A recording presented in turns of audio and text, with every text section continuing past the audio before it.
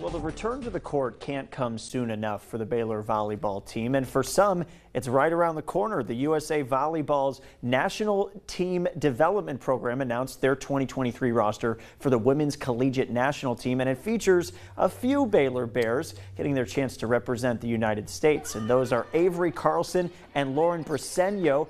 who will don the red, white, and blue as two of 20 of the country's top collegiate women's volleyball players. The Big 12 Freshman of the Year and Baylor's Libero will train alongside the United States women's national team as it prepares for the final preliminary round of the Volleyball Nations League.